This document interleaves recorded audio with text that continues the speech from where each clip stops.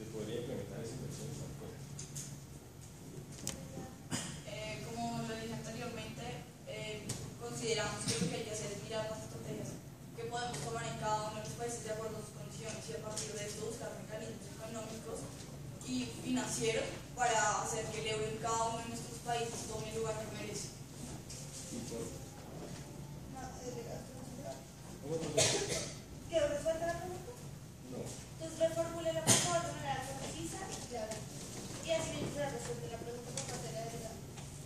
que, que la inyección de, dinero a la economía europea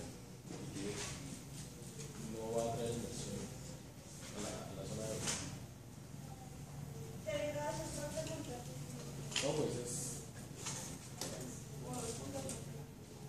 es inversión. La primera pregunta